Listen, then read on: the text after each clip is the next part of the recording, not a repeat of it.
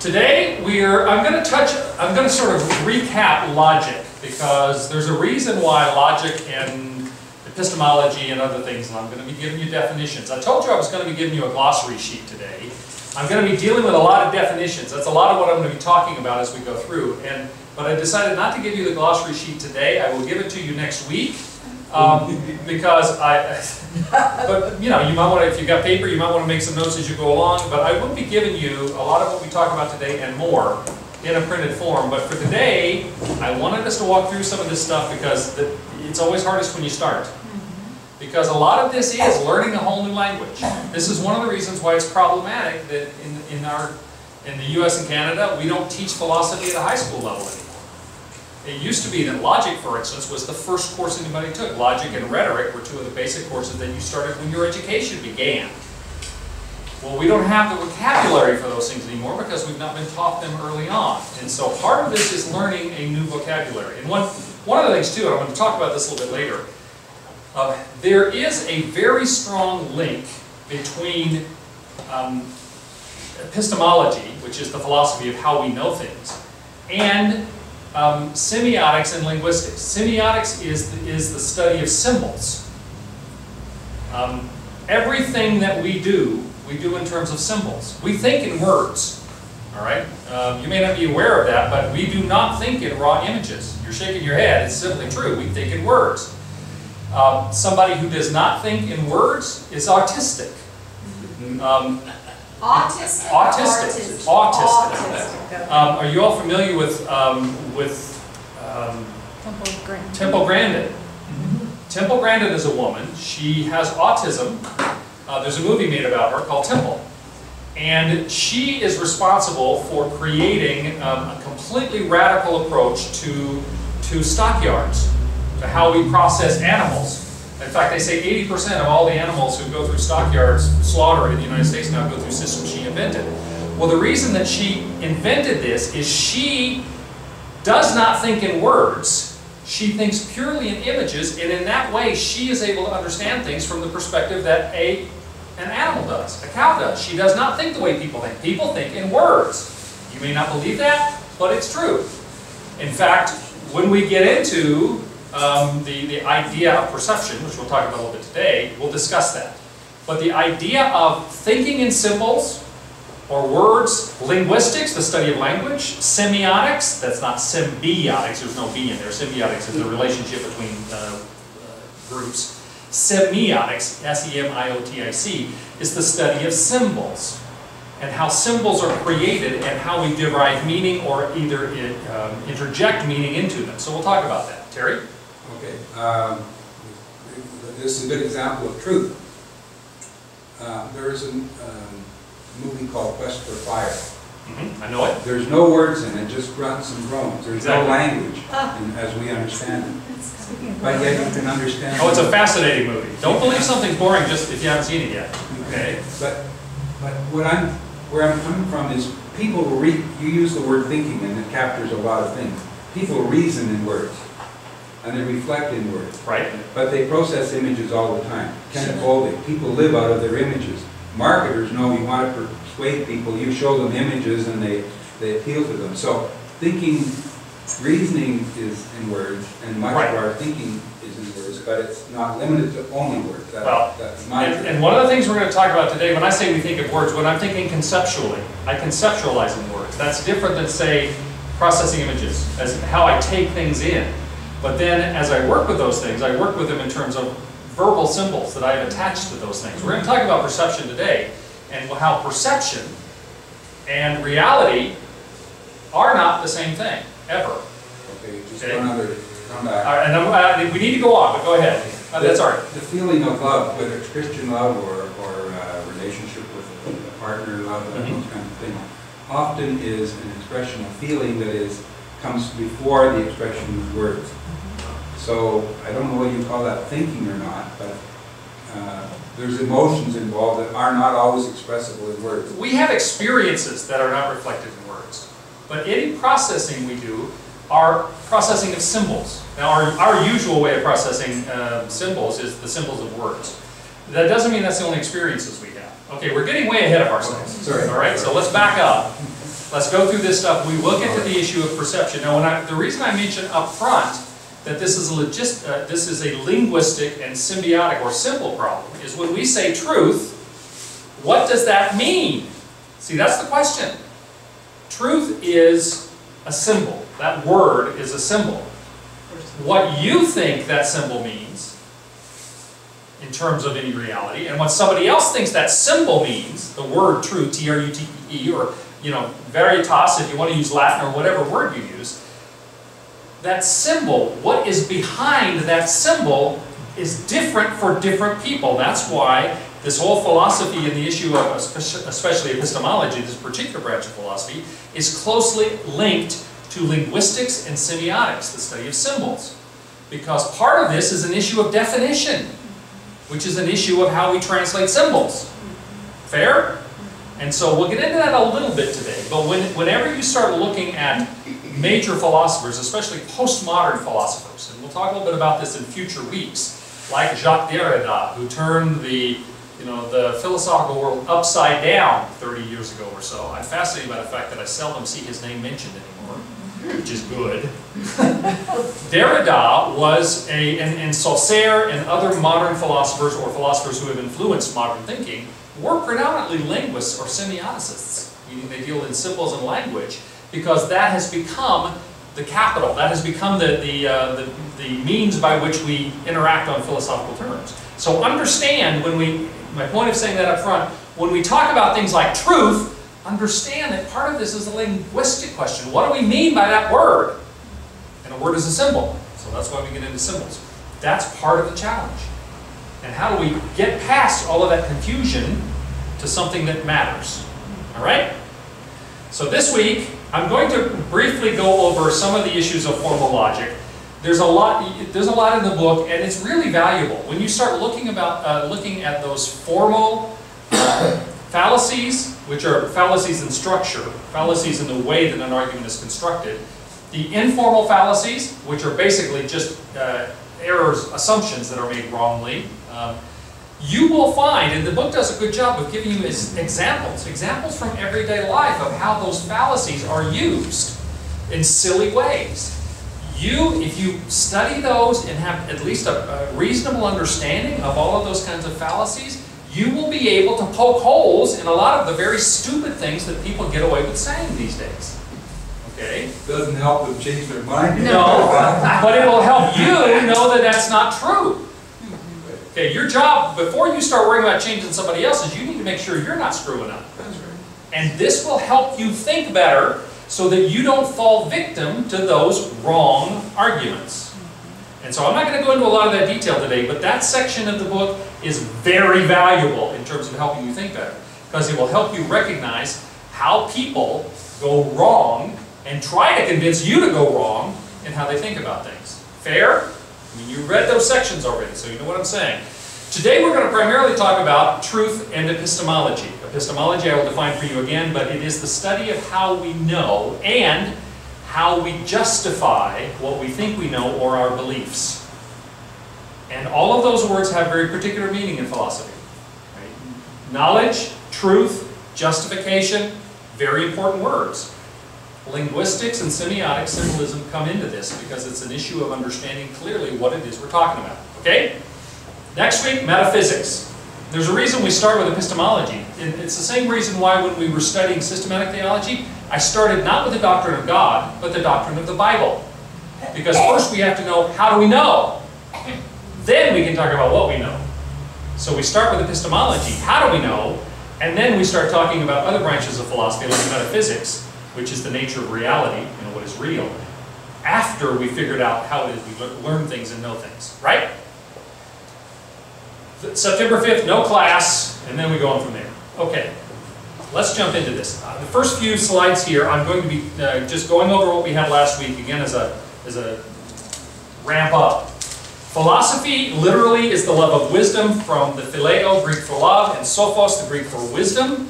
Um, three definitions, all of which are valuable to you. I think philosophy is the critical examination Critical does not mean negative. It simply means to think hard about something. We have certain perceptions, like I had somebody argue with using the word argue, or disagree with using the word argument. Argument is a technical expression in, in philosophy. It's not a negative. To say critical examination, that's not a negative. That doesn't mean we're looking for something wrong. It just means we're looking at it honestly. So philosophy is a critical examination of our foundational beliefs concerning the nature of reality, of knowledge and truth, and our moral and social values. What comes out of. That's why this is important. It's because our moral and social values come out of our perception of the nature of reality, knowledge, and truth, ultimately. And you may not even know it, but it's true for you too.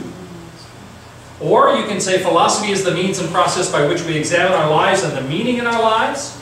Or philosophy is the attempt to think rationally and critically, again not a negative, critically about life's most important questions in order to obtain knowledge and wisdom about them. This class is primarily an introduction to philosophy. I call it philosophical theology because always the overriding uh, objective we have in obtaining knowledge and wisdom is from a godly point of view, from a Christian point of view, always with the sense that Scripture informs all of this to us. right? Why is it important? Ideas matter. The ideas that one believes largely determine the kind of person we become. Our understanding of knowledge, reality, and truth will dictate our moral values and actions. That's always the case. People always used to know that was true. We taught values for that very reason. We don't do it anymore. People have forgotten that what you think affects how you act. We all have a worldview. I define worldview as what we believe about the world and our place in it. That's my definition. Philosophy, rightly done, can give us a better worldview. Christian philosophy, rightly done, will give you a better Christian worldview. Philosophy examines our assumptions, it asks questions, it seeks to clarify and analyze concepts, it seeks to organize facts into a rational system for all disciplines. Every discipline. Philosophy is the umbrella over everything else in terms of helping us clearly think about them. As I said last week, that's why a doctor of philosophy is the highest level degree you can get in almost any discipline. Doctor of philosophy in music, a doctor of philosophy, you know, there are other things like doctor of education or doctor of musicology or whatever. But a PhD, a doctor of philosophy, it's because you have a philosophy of science, a philosophy of education, a philosophy of music, a philosophy of, of uh, gardening, there's a philosophy of everything, which means to step back and think critically and hard about what the basic elements of this are and what we think about. That's why philosophy is important. Philosophy also gives us a clearer understanding of life and what is important by teaching us to examine our core beliefs and ideas. Related to that, Socrates, one of the first, the first great, that is, at least that we're aware of, there were others before Socrates actually, but he's the one we know of, that most of us know of. Socrates said an unexamined life is not worth living. What that means is that if we don't think critically, philosophically if you will, about our human life, what it means to be human, what is important, how we live, all of those kinds of issues, then we might as well just be an animal. We're nothing more than a mammal if we don't use the one part of us that God gave us that is distinctly different, which is our mind, Related to that is our spirit. I don't deny that because philosophy affects our spiritual situation as well. So it makes us more human. It helps us, as we examine our core beliefs and ideas, to become more what God wants us to be. God does not want His servants to be unthinking. He wants us to love Him with our mind as well as the rest of us, Jesus said. Right? Any questions about that kind of sort of reintroduction to the whole philosophy and why we're doing it? I'm not going to do this every week, but I thought it was valuable as we came in today to do that again. Now, we also talked last week about formal logic, and I'm going to do just a couple of uh, slides here to remind you the most basic principles, and there are three of them, that are called the laws of logic. Sometimes they're called the laws of thought because they are so fundamental to thinking rationally or reasonably. These laws of thought, or the first principles of logic, without them nothing else makes sense. They are the basic way in which we, and we need to understand these because by themselves, they will shoot down a lot of irrational thinking. These three laws are first the law of identity, and all of these are often expressed in mathematical formulas. You notice that as you go through the book. The law of identity is P equals P, which means a thing is what it is. Or, by extension, all true propositions are true, all false propositions are false. Now, without that, as a basic principle, something is what it is, Katie, bar the door. Any kind of stupidity can be admitted. You know? Um, well, you say that sky is blue, but uh, I say it's green. Well, it is what it is. Now, maybe your eyes work differently than mine, and we're seeing the same thing, and you, or, or we're seeing the same thing, and you call it something else. But make no mistake that at its core, something is what it is, and don't. We can't fiddle with that. Secondly, the law of non-contradiction, which this expression means something cannot be both P and not P. Something can't both be and not be at the same time and in the same way, or same sense, or same respect. Another way to say that is something can't be both true and false at the same time and in the same respect. And the third, the law of the excluded middle. Something cannot be both P and not P. Um, or something must be, I'm sorry, not, that, I just gave you the law of non-contradiction again. Something, something is either P or not P. It's either true or false. There's no third option, is what the law of the excluded middle means. Now, you could say something is partly true, if it's something complex. But an absolute something is either true or not true. It either is or it is not. The example that I gave you, which I will use twice a week till I die, because it's such a beautiful example of this, is when on the Dick Cavett show, the Archbishop of Canterbury, and in her early, more radical years, Jane Fonda was on the show, and Jane Fonda said to the Archbishop, Well, Jesus may be the Son of God to you, Archbishop, but he's not to me. And the Archbishop, with his sound knowledge of the basic laws of thought, said, Well, either he is or he isn't. Both cannot be true. It cannot be, according to the law of non contradiction, that he is both the Son of God and not the Son of God. That's a fundamental violation of reason and formal logic. Now, when you understand these things, this will give you the tools, because logic is a toolbox. That's what it is, formal logic. And when we say logic, we don't mean just common sense, because what some people think is common sense is anything but common and it doesn't make sense. People can't be trusted in that. But formal logic, the very reason why it's often put in mathematical formulas, it is absolute. And they have constructed every possible valid and invalid variation on, uh, on the premises of formal logic. They're all there.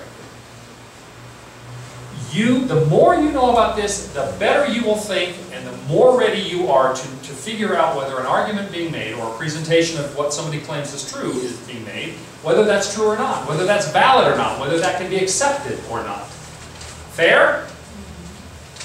And one more sort of recollection or, or review of what we did last week, and that is the principles of formal logic. Logic employs established rules for correct reasoning. Logic is about reasons. It's about making an argument. Argument is not a negative word. It simply means to lay out a case. An argument's a group of reasons which together achieve a conclusion. It is made up of propositions. Some of them are premises, which are sort of establishing the circumstance, the terms of the argument, and then the final proposition is called a conclusion. The inference is the connection between the premises that lay out the argument and the conclusion, which is what you draw from the premises. This three-line, a three-line argument in logic is called a syllogism. This is an example. All men are mortal, Socrates is a man, therefore Socrates is mortal. You have two premises, all men are mortal, Socrates is a man. You have a conclusion, which is, therefore Socrates is mortal. The inference is the way that you can see that conclusion is drawn from the establishment of the first two premises. If you have a logical argument that there is no obvious connection, or clearly not a connection, between the premises and the, and the conclusion, it is called a non sequitur, which is one kind of false argument, one fallacy. Um, non sequitur means it does not follow. When somebody says something, you're in a conversation, and somebody says something that's just, and you go, where did that come from? That's called a non sequitur. That doesn't follow from the rest of the conversation. Well, this is an example of a non sequitur argument. All of these statements, the premises um, and the conclusion in this case, are true in terms of being valid. There's nothing uh, formally wrong with them, but th there's no inference that makes sense. John Adams was the second president of the United States, is the first premise. That's true. The square root of 81 is 9. That's true. Both of those are valid premises inherent to themselves. But then the conclusion, therefore I love pizza. All three of those, the two premises and the conclusion, are all valid and true, but there is no legitimate inference. You cannot draw the conclusion from the establishment of the premises. Make sense? I give you this again as just a sort of a, a review so that you, hopefully, I, I really sincerely hope that you guys have the book and you'll keep it and that from time to time you'll think about what those, the fallacies of those arguments are. Because logic is a toolbox that will help you think more clearly and help you to make good judgments about the things you hear people saying in the world today. Because there's a whole lot of illogical nonsense out there that's being sold as, as legitimate. Fair? Mm-hmm. And as Christians, we have an obligation to think well. You can do anything poorly or you can do it well. Too many people think poorly. As Christians, I think we have an obligation to do everything well as honoring to God, including thinking. All right? Any questions about any of that so far? All right, now we have a little question to consider. What is truth? Remember that much of this has to do with meaning. What do we mean by that word? When we ask what is truth, we're basically saying, what does it mean? That's why this is linked to. I'm not going to get a lot into semiotics and, and uh, linguistics. My undergraduate degree is in communication. And much of that communication is communication theory, which is why epistemology is sort of what I oriented toward, because those things are so closely linked. Communication theory has to do with symbols and linguistics to a great extent. And that led me right into epistemology as a major focus. Philosophical theology and, and, uh, and philosophy, particularly epistemology. So, the question we ask is, is any, that the West asks, the Western culture, is anything really true? Now obviously, that has to do with definitions of things. But that question, is anything true, is the central philosophical question of the, of the postmodern age. Because you have people saying things all the time like, well that may be true for you, but it's not true for me. Well, it doesn't matter what you believe as long as you believe it with your whole heart. I have heard that said. Now those are two ways of saying, is anything true in the sense of it being an absolute truth? Is there any such thing as an objective truth? Or is everything simply what you really believe, what you really prefer, what you really decide for yourself? Now hopefully you can see on the surface of it why that makes a huge difference in terms of the rest of what somebody believes and how they live out their lives. If somebody thinks that all truths are, are uh, relative, that there's no such thing as an absolute truth, then why in the world would they accept Jesus? If the Mormons are offering a better buffet, or if, you know, if the Satanists have a great dance band on Saturday night, or whatever else. If it doesn't matter, if you don't, if there's no such thing as something being true versus untrue, for instance, if there's no objective nature to those things, then on what criteria do we make those kind of decisions? So it is a huge question, and a question that most of the Western world is getting wrong now. so let's talk about that. Modern culture promotes, and when I say modern culture, I mean predominantly. I don't mean everybody. Obviously, you know, a lot of us don't believe this. Modern culture promotes, for the most part, the idea that truth is relative, meaning it is non-absolute. This relativism is the word we use for it, meaning, you know, what's true for you is not true for me, it may not be true for Bill or for Mary. Everybody's got their own truth. That's relativism. The truth is based upon where you're coming from. Relativism takes two popular forms. The first one, and the more common one, is called simply subjectivism. Subjectivism means the subject, the person thinking this, decides. You know, there's subject and then there's object. Subject is me, object is something outside me. Subjectivism says that truth is whatever a person decides it is, and that all people can therefore be right even when they contradict each other. When Jane Fonda said to the Archbishop of Canterbury, Jesus may be the Son of God to you, Archbishop, but he's not to me, she was reflecting a pure, relativistic subjectivism. Understand that? Another approach, which you sometimes hear, particularly in academic settings, is what's called conventionalism. It also is a relativism, uh, kind of relativism. Conventionalism says truth is merely a social construct that is defined by cultures rather than by individuals. Truth is a social construct. You may have heard somebody say sometime, particularly if you were suggesting it's not a good idea to sleep with somebody you're not married with. This is what you hear in college, for instance. They'll say, well, the only reason you believe that is because your parents or your teachers or your church or your culture taught you that.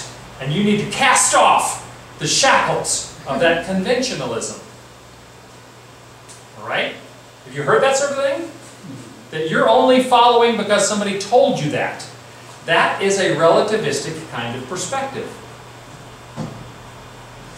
So, relativism, there's no such thing as an absolute truth, comes as subjectivism or as conventionalism. Either a person decides or a culture decides without any absolute standard that there either is called to. Make sense? And again, I think if you think about it, you can remember situations in your life where you've heard that sort of thing. Now, as opposed to relativism, we have objectivism. Objectivism is the belief that truth is not merely a matter of subjective or cultural preference, but rather that truth is a real feature in the world and that it is independent of what someone may think about it. Whether they like it or not, whether they accept it or not, truth is a real thing that exists apart from us. Now, this is the Christian belief. Jerry? Just a really good example of that, with symbols. You can't argue that one plus one equals two. It is true. There's no debating, no questioning. It's an objective example of what you're talking Unless you happen to be a Heisenberg physicist. Uh, never mind. We won't get into the Heisenberg principle of uncertainty. It's there. Um, What's that? But no, it's true. And this is the reason why mathematics, All all mathematics, are- this is the reason why mathematics is often used to reflect logic and other philosophical truth. That's why when you read through this book, when they were presenting, you know, the different viewpoints, they would present them in terms of given hypothesis, you know, H, if person P is to accept that, then da da, and they'll use sort of mathematical symbols. They could put that in an entirely mathematical equation. The reason they do that is because mathematics is seen as uh, a non-relative truth system, meaning it is absolute. Now again, when you get into more radical modern physics, then there are questions about some of that. But, but from any Newtonian kind of perspective, you know, one plus one does equal two. And suggesting otherwise is considered irrational. All right? So, to believe that Christianity takes objectivism as its foundation. This is the way we perceive truth. Um, that something, if it is true, that is absolutely true. And and again, I- somebody could say something, you say, well, that's partly true. Sometimes that's true, sometimes it's not. I'm talking about absolute truths. Something is or isn't. To believe, objectivism believes that if something is true, that it is true for everyone at all times, even if no one ever believes it. I believe that Jesus Christ is the Son of God, whether everybody in the whole world decides they don't believe that anymore or not. It's still true. Even if somebody doesn't like the fact that 1 plus 1 equals 2, they can argue about it all they want to. Whether they believe it or not, or like it or not, it is still true. That's objectivism. It's not a matter of what I think or what I prefer. It's not a matter of what the culture decides it wants to believe. It is objectively true. Now, it's very important for us to understand that since philosophy is usually understood as an effort to discover what is true and what is good and what is right, starting with what is true, if the relativists are correct, then philosophy is probably irrelevant. We all ought to go home and take a nap. Because if the truth is that there is no absolute truth, then philosophy doesn't make any sense as a pursuit anymore. Understand that? It is especially important for us as Christians that we have an understanding that we believe in objective truth, not relativistic, subjective or contextualized truth, or conventionalized truth. We believe in objective truth because Christianity purports to be the absolute truth. Our faith system is one in which we believe this is the objective truth and is not subject to somebody deciding it's not true because they don't like it or they don't understand it or that you know they, they don't want to follow the rules that come along with it. Christianity is a truth-oriented system of beliefs. And we believe that Christianity corresponds to reality, again, whether anybody believes it or not. So this issue of how we perceive truth, relative, objective, or not, is fundamental to everything else. Our, our religious beliefs, our cultural understanding, our actions. Is that fair? Any questions about that? So, how do you respond to the relativists? How do you respond to the people who say it may be true for you, but it's not true for me? Again, the, I'm, I'm giving you, this is in the book. All right, maybe I should go through and tell you what pages, but you can, you can follow along here. The slides are all available to you. When we say what is truth, we need to understand that saying, as the relativists, the people who don't believe in objective truth say, that there is no absolute truth, that is in itself a self-defeating statement. And you will hear, and you've read in here, they'll talk about defeaters. A defeater is something that defeats an argument, that proves that an argument isn't valid or isn't true. Well, the, uh, the statement by relativists that there is no absolute truth has built into it a defeater. It is self-defeating because it purports to be a statement of absolute truth. And yet if it's true, then there are absolute truths, and so it must be false. You, you follow that logical argument? Yes. It's like Captain Kirk when he says, I'm, al- I always lie. Remember that episode? Well, yeah, there is. Well, in fact, that's called the Cretan um, paradox. Ah, You know, that a Cretan philosopher actually wrote that all Cretans are liars. Well, this is a philosophical challenge because it's exactly the same paradox. It's self-defeating because if a Cretan wrote that all Cretans are liars, if that's true, he was lying, which means that Cretans aren't all liars. You see what I mean? Built into this statement of absolute truth that there is no absolute truth is a self-defeating aspect. Do you understand that? Do you understand how, when people make statements like that, you can say, logically, that's not consistent? Well, one of the variants, and again, I'm walking you through the book here. This is not, this is, you can read, they have a lot more detail about this stuff.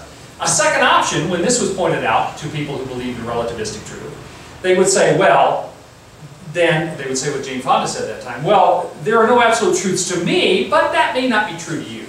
I mean, you may not believe that as an absolute truth, so therefore it's valid. Well, it's not valid because that statement is meaningless.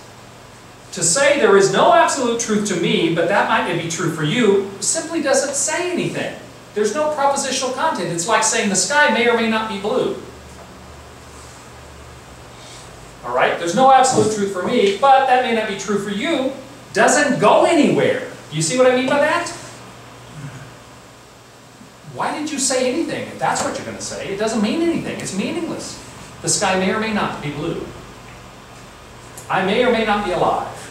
Well, are you or aren't you? That is not, there is no propositional content. Propositional content means, does it make any kind of statement that can be deemed to be factual, either true or false? There's no propositional content in that. It Doesn't go anywhere. So that's a defeater. So, some say, well, all truths are socially conditioned, meaning it's based on the context of your culture. That's the same thing. That's, that's saying exactly the same thing, is there are no absolute truths for me, but that may not be true for you. There's no propositional content. The sky may or may not be blue. It doesn't go anywhere. Why even say it? You following me?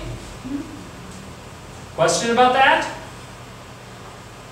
Do you begin to understand how a logical process will help you understand how to respond to some of these kind of statements?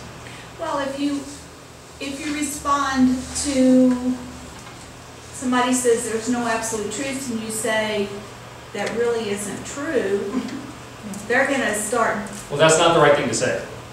What your, your answer is, on what do you base that? okay, And by, by asking them questions and asking them to explain it, I think you can lead them in a gentle way. Second Peter says, always be ready to give an explanation for the hope that is in you, but to do so with kindness and gentleness. Our, our goal isn't to smack somebody upside, the head with the truth, knocking them on, you know, epistemologically unconscious. Our issue is to help them, first ourselves to understand how to think about these things, and then gently to help other people think about these things. So to say, well, on what do you base that statement? And if you ask questions like that and you begin to walk them through this sort of reasoning, well, don't you think it's true that saying there is no absolute truth is in itself a statement that purports to be absolute truth? That's how I would approach it. Okay? I wish I could think that fast. That's why you're doing this, is so you learn this stuff. Yes? Well, the other thing of that is, is people who claim those things in reality do not want to live by those conditions, that there are absolute truths. They do not want to live by it at all, because the proposition, if that is true, can lead you to many, many evils of this world Right? that they don't, that they will say are are wrong, but they have no basis of saying they're wrong if this statement Well, is true. I think it is true that uh, a lot of people do not understand the consequences. Much of the evil that exists in the world today exists because people have lost a sense that there are absolute truths, which means there are absolute values, things that absolutely are right and wrong. And I think most people are unaware of the consequences of this kind of thinking. But it's also true, and you need to be aware of this, some people would say things like, I don't believe anything is absolutely true, because they're saying, I don't believe there's any absolute reason why I shouldn't sleep with as many women as I can okay? Or make as much money as I can at the expense of poor people, or whatever else it is. They don't want to accept the consequences of saying there are absolute truths, there are absolute values, which is further down the road. We're going to get, we're getting into ethics there. But the values, you know, axiology or the values theory that includes ethics, what's right and wrong, are consequent to, meaning they follow on how we believe these things, what we believe about these things. Okay? Fair? Okay, so, having said that, we can say quite unequivocally, the relativistic claim that there is no absolute truth is either self-defeating or it's meaningless. So therefore, it must be false. It must be false that there is no truth. Therefore, there must be such a thing as an objective or absolute truth. This is a logical argument. This is constructed based upon logical reasoning. Is there any part of that that you think is inaccurate? Because if you, if you go through that and you say, yes, I believe all of that makes sense, I believe all of that is true, then you have just discovered an absolute argument for the existence of objective truth in the world. And therefore, you should never fall victim to this idea that, well, it may be true for you, but it's not true for me. Or, well, it's only true for you because you learned that from somebody, or any of those other kinds of arguments.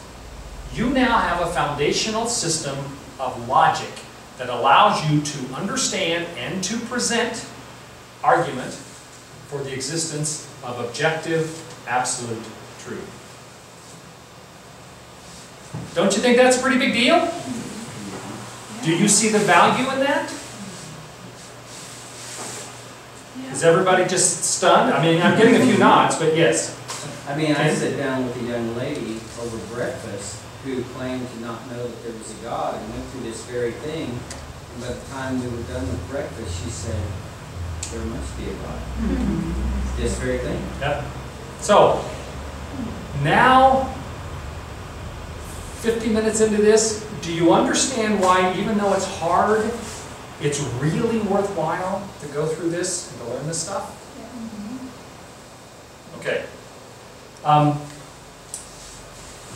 before I get into the next section, which are the philosophical theories about the meaning of truth, remember, the meaning of these things is, is one of the issues that gets, that people get hung up on. Let's go ahead and take our break right now. So, what is, let's go from the question, what is truth, to what is meant by truth. We're getting a little bit more specifically into um, the meaning of that. There are three major philosophical theories about the meaning of truth. This is all in the reading you had for this week. I'm just summarizing and helping explain it to you, so you can go back and read this stuff too. So three major, I mean, there are, people have all sorts of different ideas, but there are three that have been considered legitimate alternatives for understanding theories, for understanding the meaning of truth. The first of these, which is also the oldest, the one that has been around longest, is the correspondence theory of truth. The correspondence theory of truth, in other words, what is meant by truth, says that a proposition is true if and only if it corresponds to the way things actually are. Well, duh, some of you are saying. And yet it's not quite so simple as that. Now, you need to note something. This is about whether or not a proposition is true, not about whether or not we can know it's true. A thing can be true whether we know it's true or not. That's one of the principles behind the, um, the, uh, just a blank here. To- The correspondence, you know, we were talking about the correspondence, coherence, et cetera, earlier. Let's see. The, the idea of, uh, Pythagoras theorem. What's that? Pythagoras theorem proves it, Um, would it not? okay, I'm not gonna get into that. You know, uh, the, the square of the, you know, it's mathematical. It's true whether you know it or not. Right, well, and they use the example in the book, which I think is a good one, is if, if someone says, um, there is a purple grain of sand on the far side of the moon. Now, that could be true, but it's unlikely we're ever gonna know if it's true. But it could still be true. So the issue here is, when we talk about the correspondence theory of truth, is it's true if it corresponds with a, um, with the way things actually are. Okay? So in that case, I'm, I don't know for sure if that's the case, but if somebody made that statement, it could be true whether I know it or not. So this isn't about knowing it, it's about is it. Got that? And that, that comes up later when we start, when we get into some of the other philosophical issues. That's why I mentioned it second, and I'm going to come back and talk about each of these, but I want to present all three of them first. The second theory of truth is the coherence theory of truth. That is that a proposition is true if and only if it coheres with a set of beliefs that a person already holds. Is it consistent? Is there a consistency between this thing and what I already believe? And if so, it can be perceived as truth. That's a different idea about what constitutes truth. And I'll come back and talk about it. The third theory is the pragmatic theory of truth, which says that a proposition is true if and only if it is useful to the believer in achieving desirable results. In other words, this theory, the pragmatic theory of truth, says truth is what works. Um, C.S. Peirce, Charles Sanders Peirce, who is mentioned in the book, he and William James are the two primary, primary pragmatists. Um, Peirce said, truth is what you're willing to fight for. That's about as pragmatic as you can get. There are some aspects of pragmatic truth that we would have to, we would have to agree with. Not all of it, but the extent to which ultimately we believe what is true works and what is false will not work eventually, long term, right? And so there's some aspects of each of these that we could say there's some, some, as- some reliability to.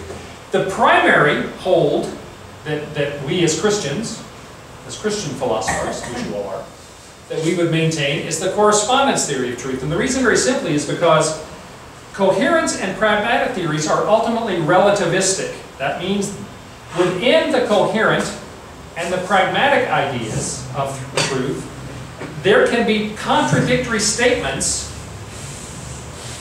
that can be subjectively and contextually accepted as true. They use the example, for instance, Babe Ruth thought he was the best ball player in the whole world. That was consistent with his beliefs, and that may have helped him be the best ball player in the world. Lou Gehrig probably thought otherwise, and people would have difference of opinions. Now, for instance, on the coherent set of truth, if, if one of you believes, you absolutely believe that you are the most important person in the nation of Mexico, and somebody else thinks they are the most important person in the nation of Mexico, And each of you, for each of you, that's consistent with what you previously have thought about yourself and about the nation of Mexico and all the other things related to that, then for you, each of you, that is true. If it's coherent or consistent with what you previously had believed about yourself, about Mexico, about circumstances. And yet, do we really think that both of those two beliefs can be true? It's coherent. When Carolyn says you're the best, And I say, no, no, you're the best. that's coherent, isn't it? Is it really? All right, true? but you can see, one of the problems with the coherence theory is that it allows contradictory beliefs to be, to be accepted as true because it- they are subjective. Because coherence inherently is subjective. It's consistent with my beliefs, so therefore I can accept it as being true, even though it may not be true in any larger scene. Likewise, prag- the pragmatic theory of truth may say, um, this works for me. Well, what if it doesn't work for you? You know? Since I'm stronger than you, it works for me to believe that I should take everything you own. Well, that may not be pragma- pragmatically true for you. And yet, in principle, the pragmatic theory of truth would allow both of those beliefs to be considered true from different perspectives. That's why I say they're subjective and relativistic. Okay?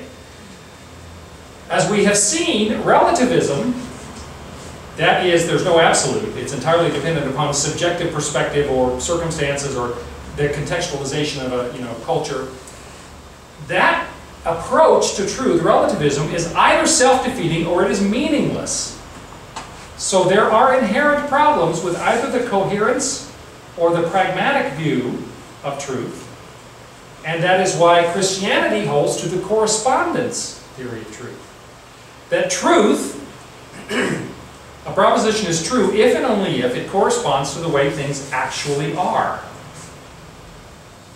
Right? But people do hold those things. People will say, you know, um, well, I believe that white people are superior, therefore slavery is justified. We justify all kind, and that's that is a coherence theory of truth. And when slavery existed in the United States, there were all sorts of justifications that they offered to say, well, here are all the things that we believe, and given all those things we believe, to believe that it is legitimate and in fact appropriate for us to enslave people who are not white is completely consistent. It is logically consistent, it is coherent with our other beliefs, and therefore, believing in slavery must be true. Do you get that?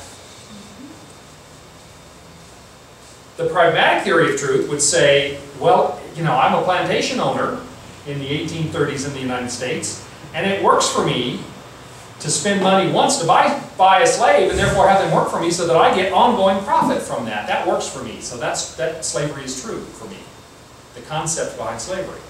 You can see how correspondence, or I'm sorry, how coherence and pragmatic approaches to the theory of truth can create all kinds of problems because they're only based upon what I think or what I want or what works for me.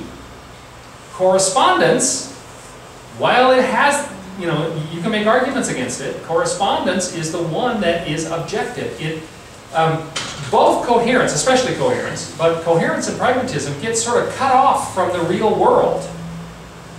Correspondence says that a proposition is true if it corresponds with the way things actually are, meaning that there is a greater reality that we have to take into account. The idea of coherence and pragmatism as theories of truth is only what I think. It's all internal, it's all subjective. And it cuts me off from any sense that there is a real world that my definition of truth has to take into account.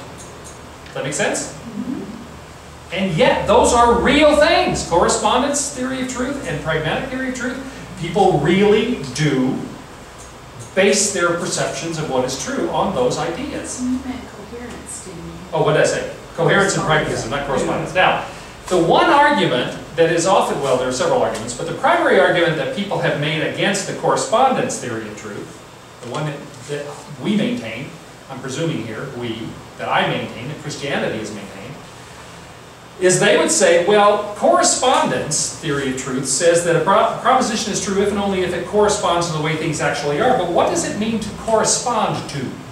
They question that the meaning of that term. Do you see how this goes back to linguistics and symbols, semiotics? What does it mean for something to correspond to the way the world really is? And so they said, well, you could say that other ways. You could say that it means the truth is something that accurately expresses or describes a fact about the world. Take out the word correspond. It expresses or describes a fact about the world. And then they will say, but what is a fact? Because a fact is an abstract concept. Right, we'll talk about that a little bit later. Um, My big so- question is about the way things actually are, mhm. because I experience things totally differently from the way you do, or Chris does, or Dean And We're getting ready to jump into epistemology, and that is how do we know that what we perceive is accurate, okay? Uh, Justification of beliefs.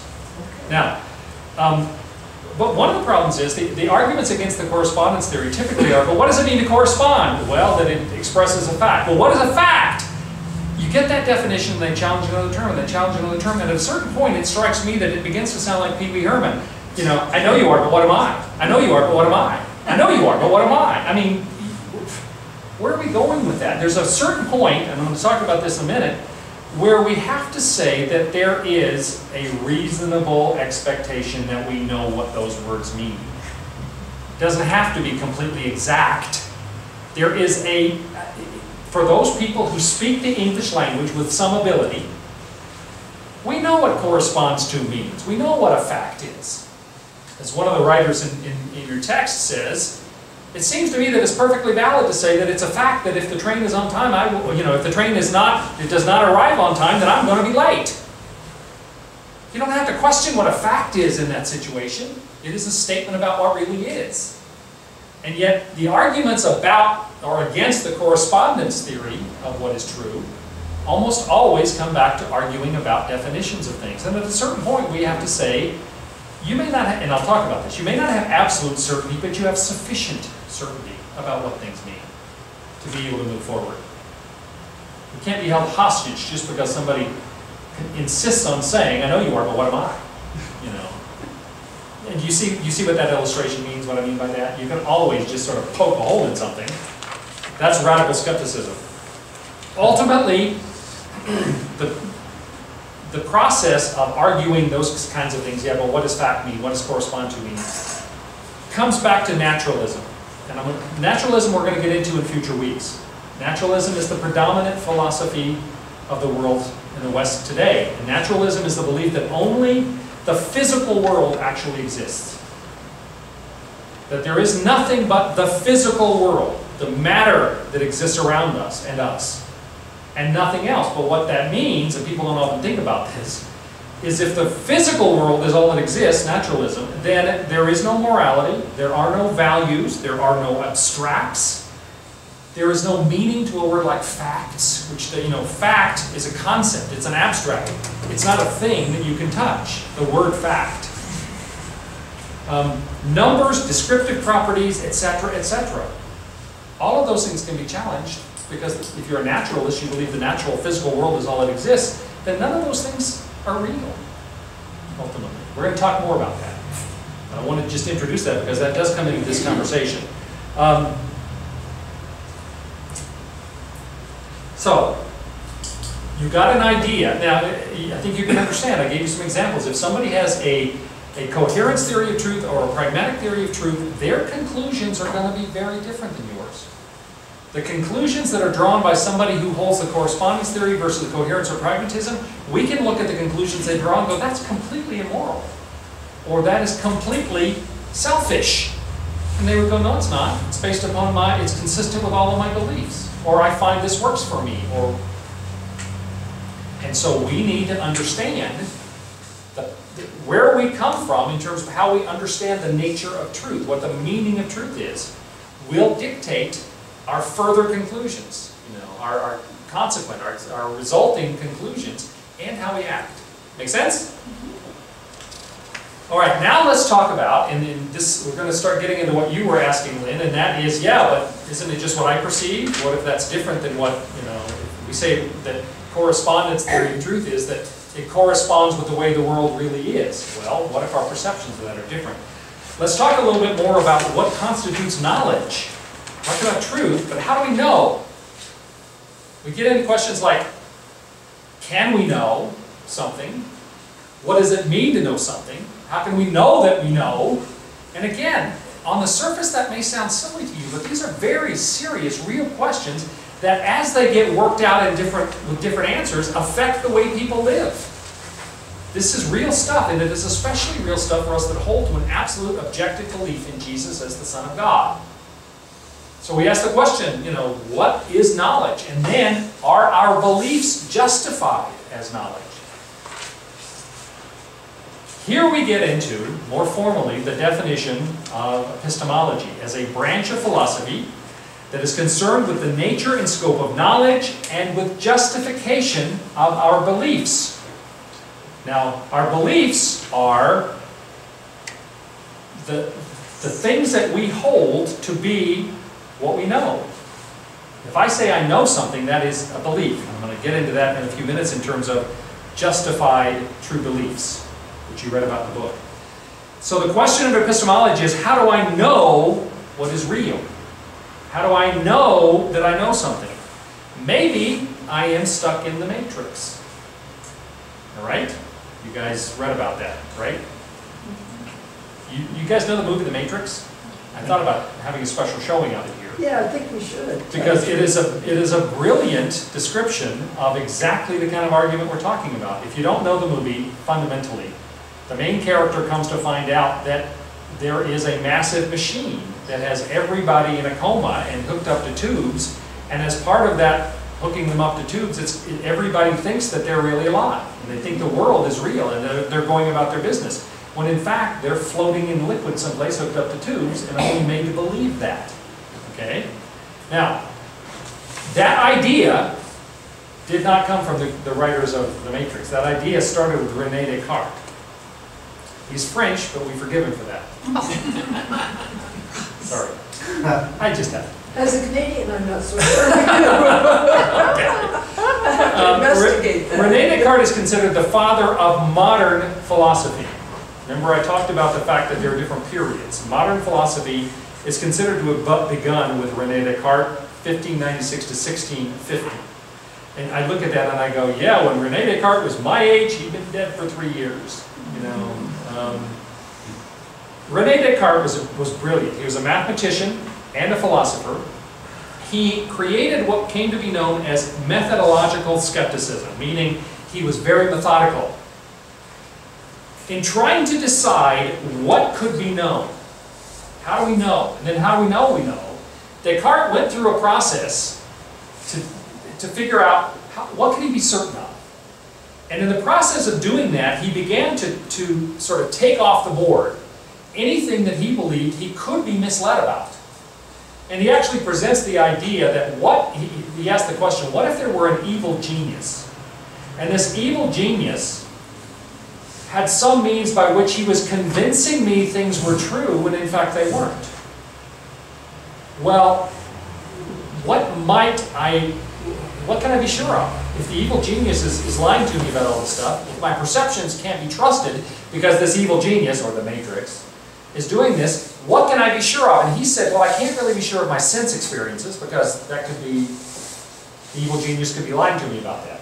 And he went on, on and on and on, and he ended up coming down to what, one of the most famous statements in philosophy, which is, in Latin, cognito ergo sum, which means, I think, therefore I am. What Descartes was saying is, whatever else the evil genius that he had conceived of, maybe lying to me about, the very fact that I'm asking this question, the very fact that I, even if I'm being completely deceived in my perceptions, I couldn't be deceived, I couldn't be asking this question unless I really existed. So the very fact that I'm thinking about this, that I'm asking this question, or even that I'm being deceived, means I must really exist. And so he boiled his methodological skepticism, boiled it all down to one basic thing that he absolutely knew was true, and that was, I think, therefore I am. That's my existence is the one thing that cannot be denied me, no matter how much I'm being led to wrong perceptions. You got that?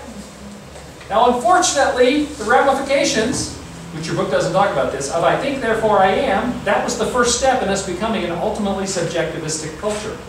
That it's all about me, what I think, what I believe.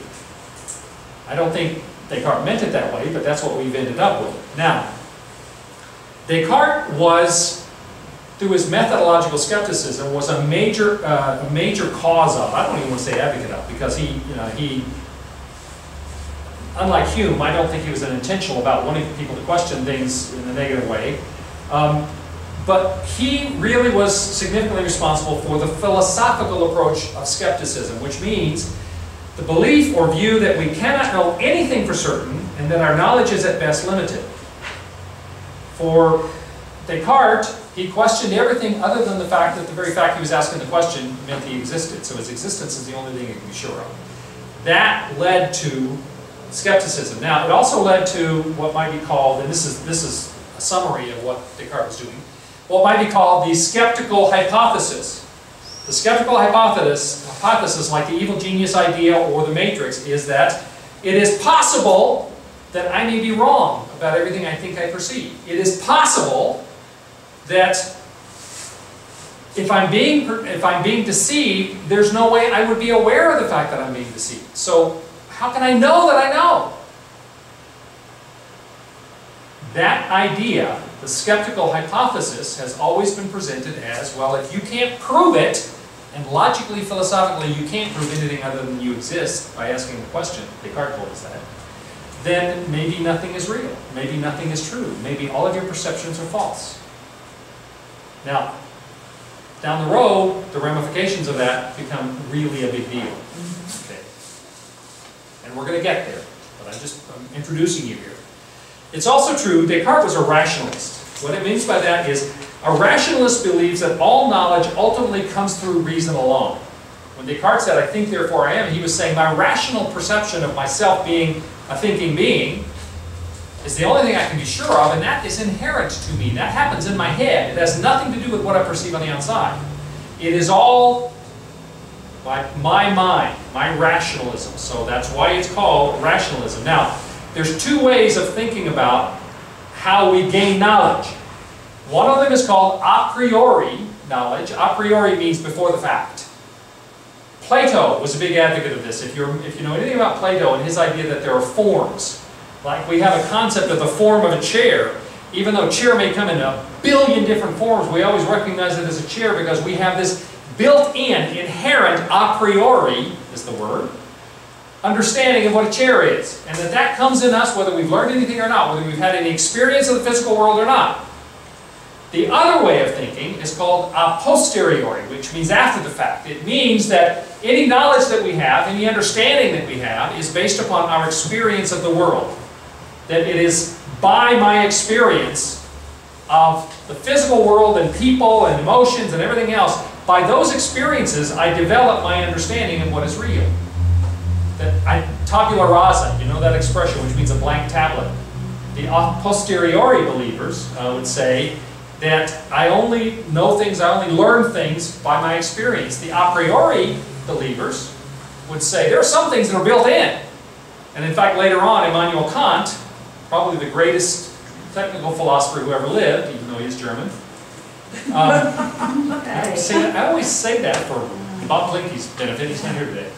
Um, Kant, in his writing of Critique of Pure Reason and Critique of Critical Reason, is talking about how the brain how the mind, I should say, not the brain, it's not a physical thing, takes in information and processes it. And much of that has to do with what is a priori, what do we have built in before anything else, what is a posteriori, what, what knowledge or truth do we understand based upon experience. Okay? Rationalism believes only in the a priori, that, that it is what my mind does and it's based upon how my mind works and what was there before. And it's because, you know, Descartes was a rationalist because he boiled everything down except his, his mental conception that he existed because he was able to think. All right? Now, so rationalism is one approach to understanding how we know things. The other approach is called empiricism, which actually I should have put it here. This is the a posteriori view, the idea that my beliefs, my knowledge, all come from my experience, what I experience in the world. Empirical evidence, you've heard. So rationalism, it's all inside my head. That's where truth is, and knowledge. Empiricism, it's all based upon what my experience is of the world. One of the most important empiricists was John Locke, who lived in uh, late 1600, early 1700s. Locke talked about, um, he was an empiricist. He believed everything we know we learn from our sense experience of the world. By seeing, hearing, tasting, touching, you know, um, that that's how we gain knowledge. He presented two different kinds of empirical experience. First, sensation is the immediate sensory encounter with objects through sight, hearing, touch, smell, taste. I am having a sensation when I touch this podium, or when I listen to you all yawn, or whatever else it is. What I see, what I touch, what I hear. Sensation is the immediate experience that my senses give me. That's one kind of empirical gaining of understanding and knowledge we talk about. The second, obviously, we talk about love, we talk about honor, we talk about loyalty, commitment, all these things that are not an immediate sense experience. Locke explained those in terms of a second kind of empirical experience, which he called reflection. Reflection is when we take all of those different, the memories of all those different sense experiences, and we combine them in various ways to come up with a whole new set of experiences, which are not physical. It happens inside us, but it's all based upon physical experience. So it's either direct empirical experience, or it is indirect by how I mix and match the things I previously have experienced physically. Got that? Make sense? You can see how that's different than thinking that it's all stuff that happens in my head. This is based upon what happens my, as I touch the world in one way or another. Now, Locke also, and here's where we get into the perception stuff. Locke also proposed, not only Locke, Descartes did not disagree with this, and there are others who presented this too, what's called a representational theory of perception. It's the suggestion that we never really directly experience anything in the external world. Instead, we only experience the images or the ideas that our minds produce to tell us about those objects. Remember I said earlier that we think in symbols? Well, they would say that even if you look out the window and you see a tree, you are not having a direct experience of that tree. You're having only a direct experience of what your mind tells you that is. That there is a translating process going on between the real world and what your mind perceives. So this is where the perception question comes in. It is the difference between appearance, what I am getting inside, and reality. And that there's always a translation process going on.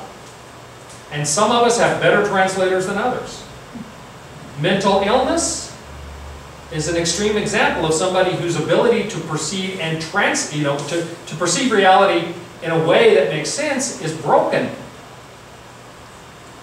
Somebody who's colorblind may see a tree and go, that's an amazing red tree. You go, what are you talking about? That's a green tree. Because the translation from the actual physical reality to what we understand in our minds, the perception of it, there's, there's a process that goes on. Make sense? That we never directly experience the physical world, we only experience our mind's perception of it as it comes through our senses. Okay? Now, as I said earlier, we think, that is, conceptually think, we process in terms of symbols, usually word symbols, that are representations rather than pure perceptions. And let me, let me ask you something. Um, what's that? A upside down. Okay. Is it anything else? Yeah. It's an elf. What? Elf. Okay. An aleph? It's a letter? Let me, let me do something. It's a Bosworth word. What is it now? Dog. A doggy. Dog with horns? No, that's his ears Goat? Horn? Now, the original, you know, so you said it was an upside down A. Take the dots out. Okay, I did that for effect. The Phoenician letter Aleph was the symbol for an ox. and they usually did it sideways for some reason, it became our letter A. Our, our alphabet is based upon the symbols from the Phoenician alphabet, to a great extent. We have other things, mixtures of other things. But the idea is, the fa- fact that you looked at that and said that's a dog, or that's a, you know, an ox, or that's a whatever, how in the world did you get that? There is, how does that look like a dog? Pictures, caricatures of puppies. Okay, but is it not true that what just happened there is in your mind, you had an understanding of something that you were able to consider that a symbol of, okay? What is that? Stick figure. It's a stick figure. Okay, it's a stick figure, literally, but what does it represent to you? A man, A man. Now what does it represent to you? Woman. A woman. How do you get that? Got a dress up, skirt. But do you see the, the process of, of your, your eyes taking this in and your brain translating that into a concept is exactly what we're talking about when we talk about the theory of perception. You always translate. Okay, you've got that. Now if I do this, what does it mean to you? Woman going out. Okay? Bathroom over The there. ladies' room is to the left. usually exit or bathroom, ladies' room, or think about the complexity of you taking this in by seeing it and processing meaning in that way. We do the same thing with words. I mean, I, I could, you know, we could do that all, uh, all day long. right? Um, you know, what's that? bird, A bird! How in heaven's name do you get a bird out of that? Because that's the way artists draw them. But is it not because you have developed a translating process? Okay? You know, we could, we could do this, and, and you would probably say, Reindeer. now if you lived in the Lapland, what would you call this? reindeer. A reindeer. I'd call it. Because you're from that other part of primitive. That- That's right. So, part of what you get here, when we talk about perception, you see again the relationship between symbols, semiotics. Words are symbols. Okay, the fact that, you know, that true in English, it's not the same word in Spanish, or in Latin, veritas, or anything else. We develop these sets of symbols, and they dictate to a great extent how we interpret our perceptions or translate our perceptions into meaning. If you don't know the symbols, you're going to struggle. You're not going to be able to understand the meaning. Lynn? It's really interesting, and you're just bringing up memories of when my kids were very little and we played Pictionary. Mm-hmm. My husband was a very matter-of-fact, you know, delving person, he had to have answers to all the questions. And we'd sit down, and the kids and I, we, you know, a few squiggles, and they'd have it. Mm-hmm. And he would be so clued out totally, because those had no meaning to him whatsoever. Yeah, It just points this out. I am, I'm terrible at Scrabble. And the reason I'm terrible at Scrabble is because I'm always trying to make antipodes, or, you know, complementarian, or something else, instead of A and D, but they're, you know, and and I, and I'm terrible at it. But again, the idea is that perception is a process of translating what we sense in the real world to what our mind holds, and the difference in appearance and reality, we have to understand that that is a symbol process, and that has to do with our understanding of what is real, with our understanding of how we acquire and process knowledge. We also get into, and I'm just going to mention on this, I mention here certainty of knowledge and sufficient knowledge. You know, when I when I use one of these and we say that's a bird, well, somebody else would say, well, that's a that's a swoosh. You know, the, the idea is, well, how can you be certain, how can you be certain that that's a bird? Or how can it be certain that you see a tree out your window that that really is a tree, and that that tree is a pine tree, and that that tree is whatever? Aren't you, pro- you're processing this through your filters, and you're perceiving it, and your mind is coming up with both an image and an understanding of what that image means, but how can you be certain? Now, this is the skeptical hypothesis. They would say, you can't know that that's a bird. You just made that up. And so we come to the point, our response to the skeptical hypothesis, to the skeptics in fact, is we have to recognize the difference between certainty of knowledge and sufficient knowledge. We can't be certain of anything, my brothers and sisters. It is by faith that we accept pretty much everything. You know, mm-hmm. somebody who says that they're, you know, they don't believe in Jesus because they, they don't have faith in anything, I'm gonna go, oh, you have faith in everything. Everything you perceive, you make a decision about, and you have faith in that decision. We say, everybody, everybody yell bird when I held this up, okay? And yet you could say, oh, we don't have any certainty that that symbol is a bird. It may be a symbol for something else, and yet it is sufficient for us to have agreement about that. It is sufficient for us to go on with our lives, or else we would be paralyzed by every challenged perception that we have. So when the skeptics say, yeah, but you can't know for certain, our response is, I don't have to know for certain. I have sufficient knowledge for me to believe it's true. And that is the only response, uh, response to skepticism. Now, let me talk a little bit more about empiricism by introducing you to another figure, talked about in the book. This is one of the guys that was most important to me philosophically before I became a Christian. Hume, Kant, and Hegel were my trinity at one point. David Hume was my favorite. Hume lived in the 1700s. He was a Scottish empiricist, which means he believed that truth, knowledge, came from our perception of the physical world, not that it was all inherent or a priori in our heads. Okay? He was a, I should say up front that by all accounts, David Hume was a sweet man. Everybody loved him. And I say that because as I describe to you what he believed and what he presented, you're going to think he sounds mean. He's not. Because he was able to separate what he philosophically, intellectually proposed and how he actually lived his life. Now, whether or not that's a valid thing or not, he did. Okay? Uh, everybody said he was a very pleasant man. He agreed with Locke in terms of his empiricism, but he went further than Locke. He went further to say that because of this translating process that goes on, that when we have perceptions, we're not experiencing the real thing, we're only experiencing our perception of the thing that comes into us, right? We're translating this word, filtering. filtering, exactly. Oh.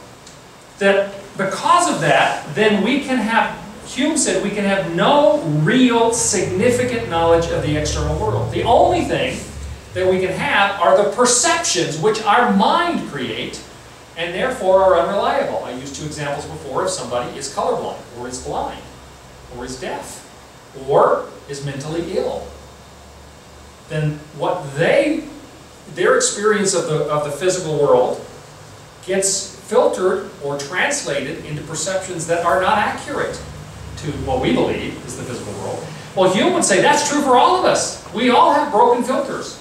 Or at least we all have filters that are filters so that we never have a direct interaction with the physical world. And so therefore we, we can't really know that it's reliable. We can't know anything for sure. Okay? Nothing, he said, is really knowable. We only have either direct impressions about the things in the world, meaning our, our perceptions in our head, or we have logical relations between ideas that are produced by those impressions. This is back to sensation um, or uh, just forgot the word, or reflection, as Locke talked about. We either have immediate but unworthy, un, untrustworthy perceptions of the world, or we have what our, what our mind does with it. Now, that's part of it that Hume introduced a fairly radical skepticism saying that none of these things are certain. Everything is uncertain.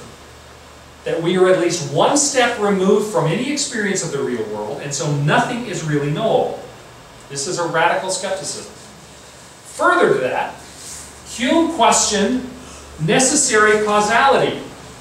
The idea that we can reliably predict events based on past experience. Example. Any of you guys play pool? Yeah. Okay. What's the objective in pool? You get the balls in the hole. How good, nice. The process. You guys, drink a beer. No. Um, the objective in pool is that you take the cue stick and you strike the cue ball at just the right place and with the right force that it moves forward and it strikes the object ball, as it's called. If it's, if you're into the game of eight ball, it's the eight ball. At the right place and with the right spin and with the right force to cause it to move where you want it to be, which is in the hole. Right? Yeah. That is a beautiful illustration and one that, that's, that Hume used and that is used in our book for the idea of necessary or predictable causality. That if you strike that cue ball in just the right way and it, it is predictable, you can know it's going to travel in a certain way. If it hits the eight ball with a certain force on a certain point with a certain spin, it is going to cause, and if you do it every time, the, the eight ball's going to go in the hole every time, right? If you always do it right, the same way, it's always going to be predictable. Hume said that's not true. Hume said, logically, the only thing you can say for sure, with certainty, certainty is a key word here, is that every other time you watch this happen, that was the case. You don't know for a fact with certainty that when you do it this time, even if you strike the cue ball in the same way, it travels to the same point with the same spin and the same force and strikes the eight ball in the same place. The cue ball could go straight up, for all you know. Just because you saw it happen that way before doesn't mean it's guaranteed it's going to happen this time. There is no certainty in causal relationship. From a purely philosophical point of view, David Hume is right, and nobody has ever refuted him. There is no necessary consequent causality. All we can say is we knew it happened that way every other time, and we're hoping it happens that way this time. Now, this issue of causality is a huge deal. If, our, if my tribe survived by planting corn, and that was our primary food product, and we planted corn and marigolds came up, if we, if we could not, with assurance, believe the law of causality says if I plant corn, corn will grow, then I'm in trouble. If I thought that, and I've used this example before teaching this, Carolyn has heard it, if I thought that every time I flipped the light switch in my living room, a house was going to blow up in San Juan Cosala, or might blow up, if I didn't know that the only consequence of my flipping that switch is that the lights are going to come on, if I thought that causality was such that something else horrible might happen, would I ever light my living room again?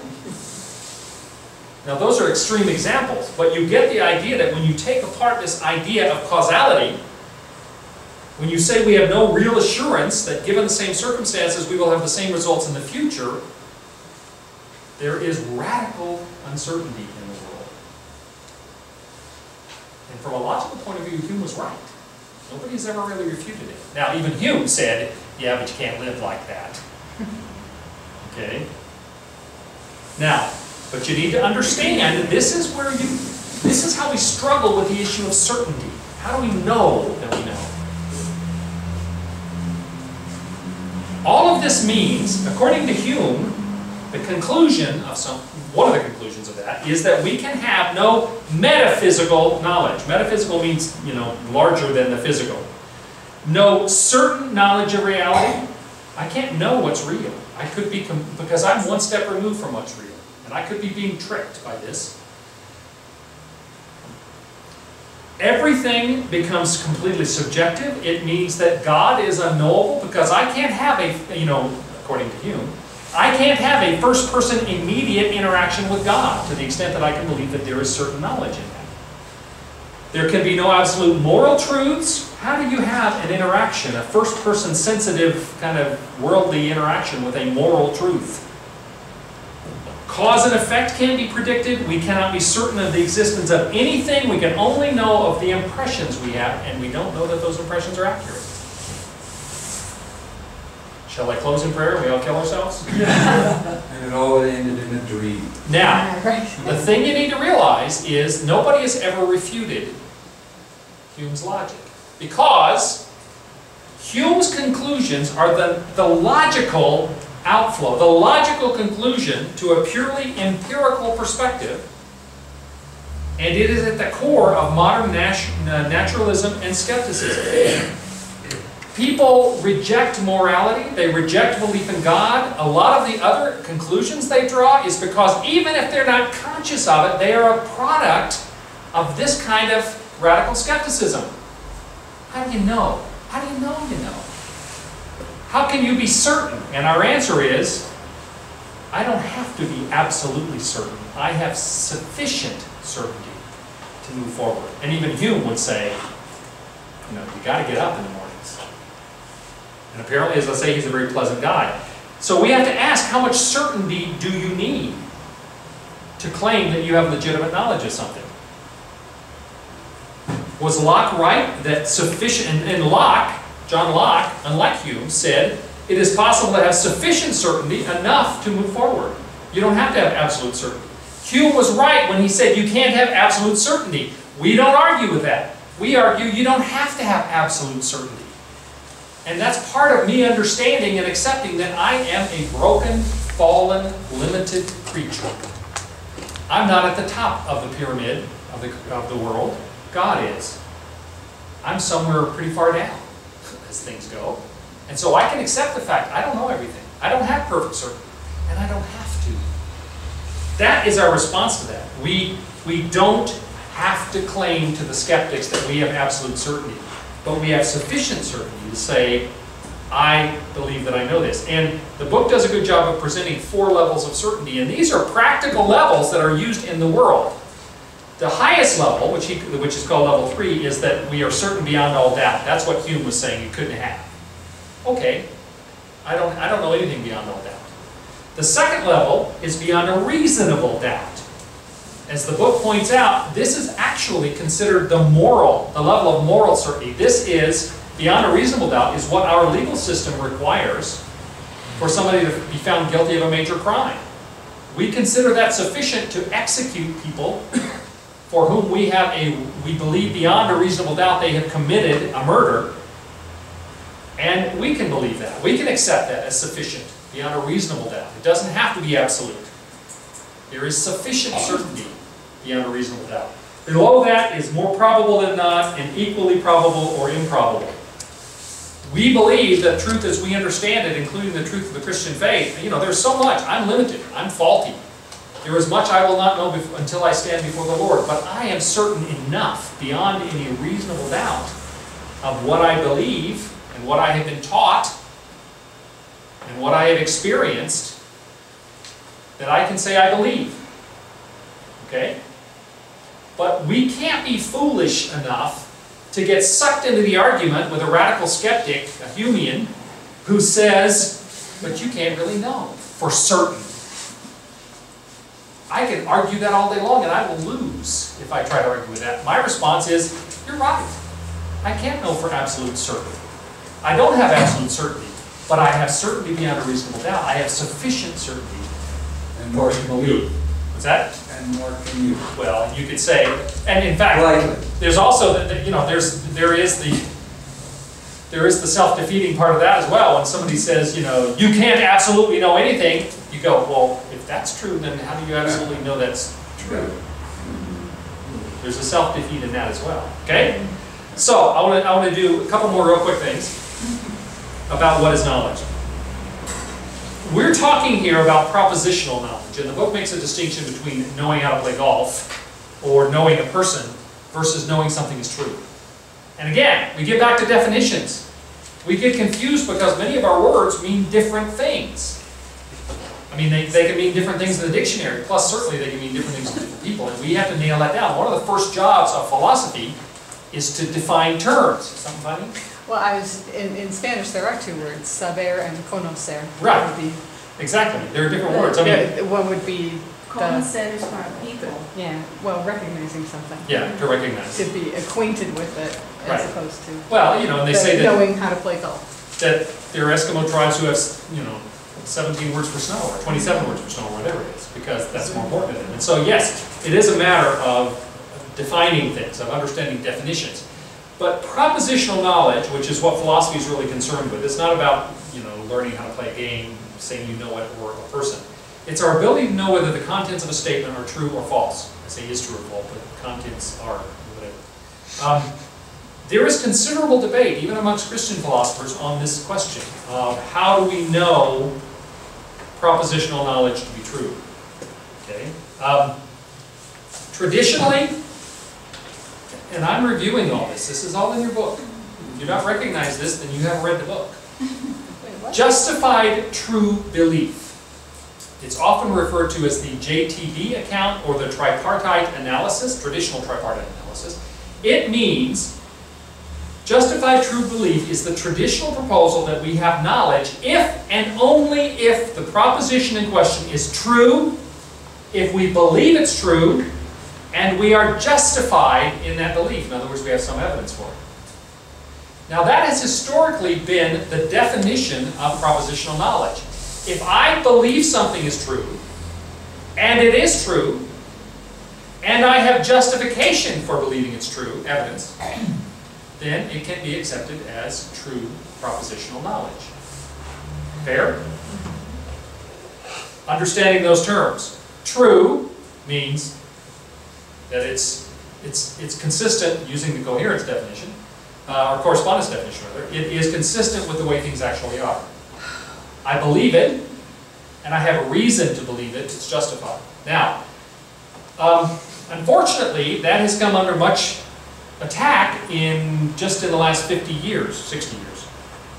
In 1963, an epistemologist, which is a philosopher who studies epistemology, how we have knowledge of things, named Edmund Gettier demonstrated that justified true belief, while it may be necessary for claiming we have knowledge, for propositional knowledge, it is not by itself sufficient because he was able to come up with several scenarios where a person, something by anybody's sense of knowledge of it, something appeared to be true, they held a belief that it was true, and they had reason to believe it was justified, but he came up with scenarios in which it wasn't actually something that was justified or true, even though there was, seemed to be all sorts of positive argument for it. Particularly, the argument has gone uh, against the question of what does it mean that a belief is justified? What is necessary for us to say that it is a justified true belief? What constitutes justification of the belief that we have that something is true? Um, historically, you've all heard, well, seeing is believing. Anybody who thinks that defines truth is not paying attention. How could anybody believe seeing is believing? Somebody said with the Ferguson case, they have six different witnesses and they all have a different idea of what happened. You know, just our, our senses are, you know, well, yeah, I was there and I saw it, but it was really foggy, so I'm not sure whether the guy had red hair or black hair. It was dark. Um, the train went by just then, and I'm not sure if I heard a gunshot or not. What constitutes accurate justification? All right? Several other things have been added to this idea of justified true belief being what constitutes propositional knowledge. One of them is called reliabilism. Just stick an ism at the end of a word, you've got something philosophical.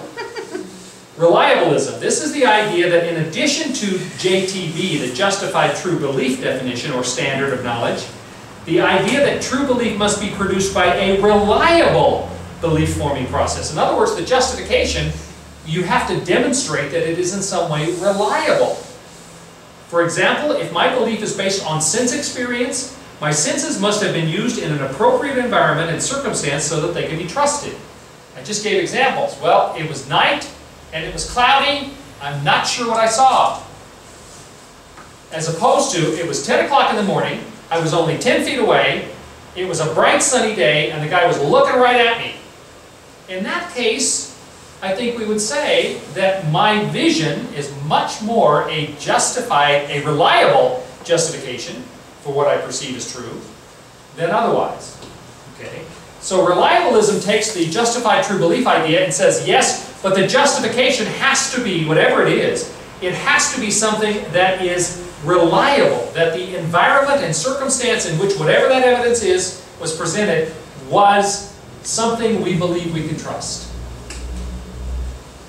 And if it's not, now if you're sitting on a jury and you're being asked to adjudicate a murder trial, do you not think that this issue of is the evidence presented to me sufficiently justified that I can believe the claim that this person is a murderer is justifiably true? Doesn't it make a difference as to the testimony and whether or not that evidence was reliable based upon the circumstances in which it was given? Do you see the practical application of these questions? And then there's a couple of other issues related to um, our understanding of propositional knowledge, which are big issues in the philosophical circles. And you may not remember this and you may never care about it again, but you're going to care about it for the next three minutes. One of them is some people claim what's called internalism, and that is that a person's justification for their belief, remember, justified true belief, justification is the one that gets questioned. What constitutes justification? Legitimate evidence, in other. Internalists, uh, people who believe in internalism, believe that the idea that, uh, believe that a person's justification belief must be internal in their own mind. In other words, they have to be able to coherently tell you why they believe what they believe. In other words, they have it in their head and they can explain it. It has to be internal to them, or else it's not legitimate justification. There are other people called externalists, externalism, from a philosophical point of view, who would say, no, it doesn't matter whether the person understands why or how they believe something. If they hold it and they have a legitimate process by which they acquired that, then it is legitimate and justified. So the issue is, do you have to be conscious of what reason or evidence you have for what you believe, or is it possible not to really be able to explain why you believe it, but as long as you got there in a legitimate way, it's okay? Those are big issues. Christians argue about that. Do I have to give an explanation for the hope that is in me in order to really have belief in Jesus? Or as long as I hold it in faith, you know, and I believe that it's true, although I can't really explain it, is that enough? What do you think? A or B? Which is it? I think it's internalism. Okay, you think it's A. You need to be able to explain it. Okay, now we see why this is an argument. Uh, An argument's not a negative. This is a philosophical disagreement. Christians disagree on this issue. Now, the second one, externalism, is a, a form of reliabilism. It's a, a way of saying, well, that you may not be able to explain it, as long as it was a valid way that that belief, that knowledge came, then you're okay. All right? Now, I'm going to do real quick, one more slide that's got 10 years worth of knowledge on it. On what is knowledge. I'm only going to mention this here, we may bring it up later on, virtue epistemology. Virtue epistemology, which is fairly, it's one of the sort of up-and-coming things, is the idea that since knowledge is achieved by people, there's always a, there's always a people aspect to the gaining of knowledge. Since knowledge is achieved by people, persons, the study of knowledge should be person-based, which means it should take into account personal characteristics. Again, this is primarily concerned about justification. If a person who is who is offering, who says, I have knowledge of something, justified true belief, if that person can be identified as having intellectual virtue, meaning they're mature, they're attentive, they're open-minded, they have a good memory, they're uh, intellectually courageous, they're fair, etc., etc. What would we would call intellectual virtues. If they can demonstrate that, then that trumps any other need for justification to be demonstrated. All right? That there is a personal aspect. If a person who is perceiving something as a propositional truth has characteristics which are considered intellectually virtuous, then that is sufficient to believe, to justify their true beliefs. That's all I'm going to say about that right now. You can read more about it in the book. We'll talk about it later. A lot of Christians are believing that now. And the thing I like about it, I don't completely agree with, the thing I like about it is it puts some responsibility on us to work at this. It's not just something happening to us, we have to be concerned about being intellectually virtuous. Attentive, open-minded, having a good memory, intellectually courageous, fair, etc. That there is some aspect of truth knowing that we have responsibility for. Okay? Now, shifting gears, but it's the same slide. Alvin Plantinga actually created this term, noetic structure. And that is, I mentioned earlier that Kant, Kant in his Critique of Pure Reason and Critique of, of Practical Reason, especially Pure Reason, deals with how the human mind takes knowledge in and processes it. This somewhat has to do with that. The noetic structure of a person's mind, which is how they think about things, how they take take in information, how they process it, whether they accept it as knowledge, how they develop their beliefs, all the stuff we've been talking about. The noetic structure is the entire set of a person's beliefs together with the logical and explanatory reasons for those beliefs. In other words, this is what you got in your mind that dictates how you process what comes in and what you take as knowledge and belief, or what you reject as being unbelievable. There are um, three basic forms in this. One is foundationalism. It is the oldest. This is the premise that a good noetic structure, which is the structure you have in your mind of beliefs, is based on a foundational beliefs that are immune or at least resistant to doubt. That you have some basic beliefs and all your other beliefs are built on that. Now, there's two kinds of this. There's classical foundationalism, which says that the only beliefs that can be considered basic in your, in your noetic structure are those beliefs that are self-evident, that there's no such thing as a married bachelor. There's a logical self-evidence in that. Or that 1 plus 1 equals 2, you know, a mathematical evidence. It's self-evident, it's incorrigible, which means it can't be changed or challenged. Or it is evident, immediately evident to the senses, experienced now. That's a very strict definition in classical foundationalism. Very few things can can be considered basic beliefs then. A modest, a more modern version, which is called modest foundationalism, is, um, has a much more generous or modest acceptance of what can be considered a basic belief. But still the idea is there are basic beliefs and then there are related beliefs on top of that. Your basic beliefs dictate what you can accept as other related beliefs. Another uh, system is called coherentism. You hear words like correspondent and coherent a lot of times. This has nothing to do with the coherent theory of truth. Coherentism, which is basically a kind of logical consistency, is the premise that there's no such thing as basic or undoubtable beliefs. Rather than there being a foundation of basic beliefs and then you have other things built on that, it's like a web. All of your beliefs are equal and they're tied to one another. They're all interdependent on one another. Um, and that any belief that comes in is justified in terms of its ability to fit into that whole web of beliefs. And finally, contextualism is the premise that beliefs in your noetic structure are justified by the particular context in which they're experienced. Now, there is, there are Christians who maintain, there are not many people who maintain foundation, classical foundationalism anymore, because it's just too rigorous. I mean, it's just, it, it demands too much for people to believe in it. But a modest um, foundationalism, that there are basic beliefs and everything's built on that. There are Christians who maintain that, probably more than any other, but there are also Christians that maintain coherentism. The idea that our beliefs are more a web system, and as they come in, do they fit into the web? The contextualism is primarily a, uh, a relativistic kind of approach. The idea that beliefs are justified by the context. It's just like contextualism as a view of truth. Okay? Whatever context you come out, whatever cultural context. So the question is, how do we acquire and process and hold and maintain beliefs? Alvin Plantinga has written a lot about this, but obviously this affects what goes on in our mind and how we do this process has a lot to do with what we accept as being true, what we accept as a belief, what we accept as being justified true belief, which is propositional knowledge. How do we know? This looks at how does your mind process it. And Kant said a lot about that, but trust me, you're not ready to get into the Critique of Pure Reason. Any questions about that? I've gone over a few minutes, I apologize. Did this help you? It reviewed what was. Okay, but did it, did it help for me to give examples and stuff? Yeah. Yeah, Sure. but it's just overbearing.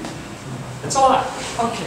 We'll make this a 16-week course next time. Okay. Yes. Can't do that this time, huh? Thank you, folks, for being here. Hang in there. Remember, I don't expect you to get it all. You're not going to become formal logicians. You're not going to become philosophers overnight, but it will help.